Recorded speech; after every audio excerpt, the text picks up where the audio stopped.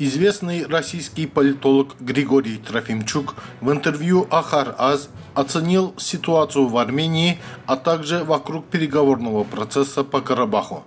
Он сказал, напряжение в Армении не закончится. С приходом во власть Никола Пашиняна оно как раз началось и постепенно развивается дальше.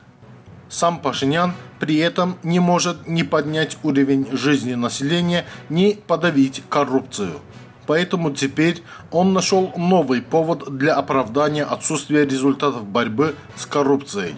Виноваты суды, судебная система в целом. Потом будут виноваты родители коррупционеров, потом бабушки и дедушки коррупционеров, потом кто-то еще. А потом в еще более чудовищной коррупции народ обвинит уже самого Пашиняна и его команду. Роберта Кочеряна премьер-министр был вынужден отпустить из-под ареста, так как не смог просчитать возможную реакцию Москвы на репрессии в адрес бывшего президента Армении. Проще говоря, он испугался. Если же Никол Ваваевич ведет в суды своих людей, это поможет возникновению в стране уже тотальной коррупции. Российский политолог отметил, что Карабах – одно из главных направлений деятельности Пашиняна, где он приступил к ликвидации коллективных переговорных усилий всех последних 25 лет. Он объявил, что мир на территории не меняет, хотя изначально это и было главной сутью процесса урегулирования конфликта. С другой стороны, он заявил, что не имеет к Карабаху никакого отношения – но в то же самое время активно пытается поменять там власть. Все это приведет к тому, что Карабах отдалится от Еревана, попав под прямое влияние Соединенных Штатов.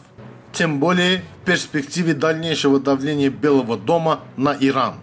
Пашинян обвиняет всех и во всем – Поэтому какие-то там обвинения в адрес армянских политиков в том плане, что они якобы хотят сдать земли Азербайджану, новостью уже не являются. Это часть внутренней политической борьбы в стране, которая скоро станет еще более жесткой.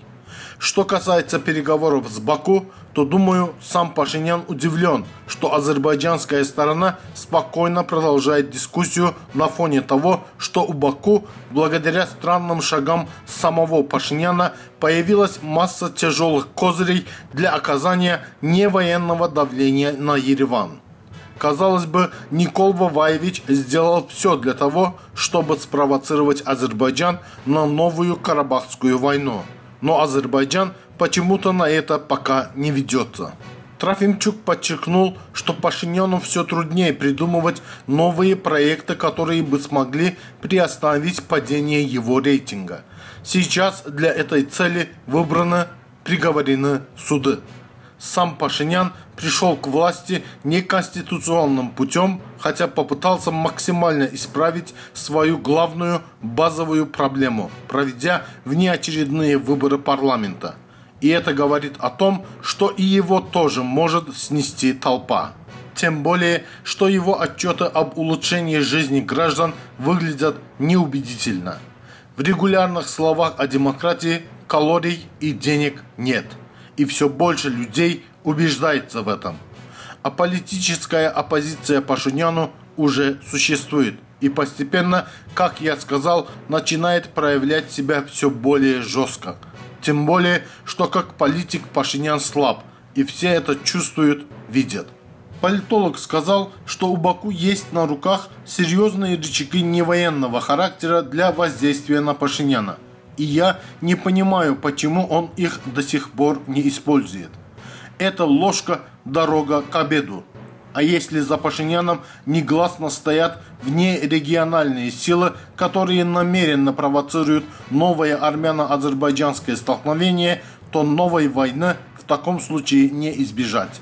Все понимают, что переговоры по Карабаху идут только ради переговоров, так как реального решения проблемы нет – если в Карабахе случится большая война, то можно дать прогноз, что будут ослаблены и Армения, и Азербайджан.